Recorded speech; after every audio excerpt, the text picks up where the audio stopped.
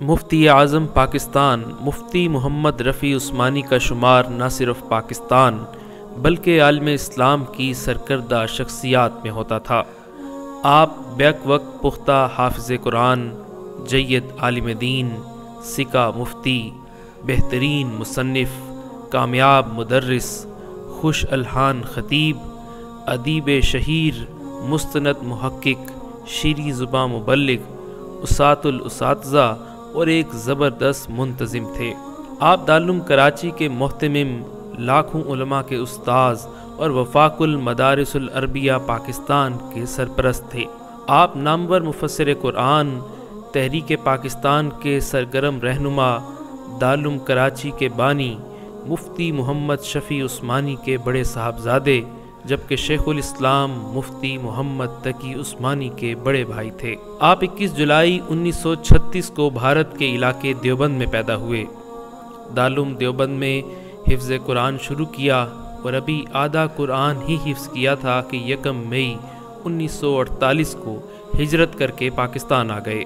पाकिस्तान आकर मस्जिद बाबुसलाम आराम बाग में हिफ्ज़ कुरान मुकम्मल किया और आखिरी सबक फ़लस्तीन के मुफ्ती आज़म के साथ पढ़ा। सन उन्नीस में अपने वालिद के कायम करदा मदरसा जामिया दारुम कराची में दाखिल हुए और 1960 तक दरस निज़ामी और इस्लामी फ़िका और इफ्ता में महारत हासिल की। इसके बाद पंजाब यूनिवर्सिटी में दाखिला लिया और मौलवी फाजिल का इम्तहान देकर पास हुए।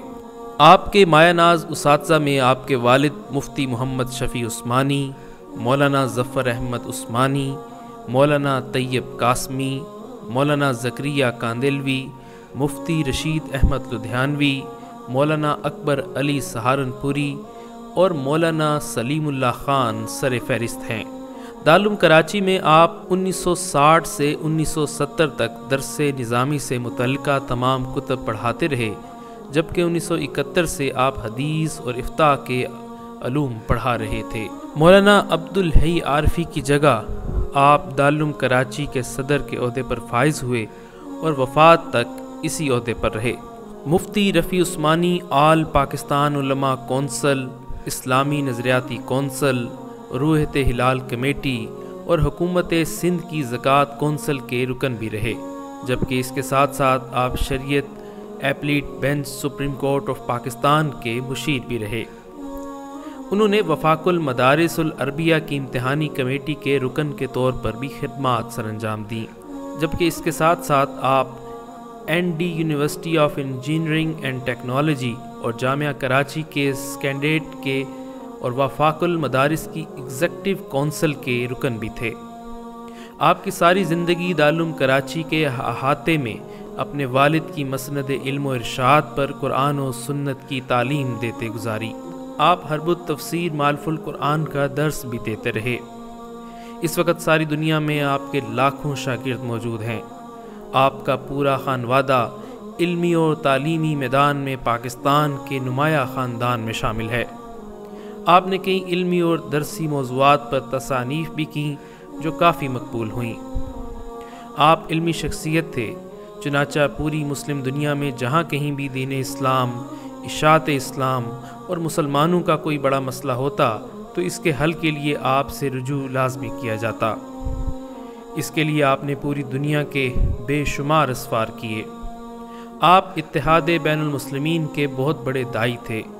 पूरी दुनिया खसूस पाकिस्तान में फ़िरका वारियत का खात्मा चाहते थे और इसके लिए हुकूमती और निजी सतह पर अनथक कोशिशें और अर्क ज़ेर जद्दोजहद की। आपने इल्मी, फ़िक्री, अदबी और दीगर मौजूद पर तीन दर्जन से जायद मकबूल आम किताबें लिखीं, जिनमें अहकाम ज़क़़त, आलम क़यामत और नसूल मसीह, यूरोप के तीन माशी निज़ाम, जागीरदारी, सरमायादारी, इश्तराकियत और इनका तारीख़ी पस मंज़र, और इसके अलावा बहुत सी किताबें शामिल हैं। आप सैकड़ों अदारों के एजाज़ी, सरपरस्त और लाखों शागिर्दों के उस्ताद थे। आप काफ़ी अरसे से अलील और मुख्तलिफ़ अमराज में मुबतला थे। 18 नवंबर 2022 बरोज़ जुमा आपकी तबीयत कुछ ज़्यादा ख़राब हुई।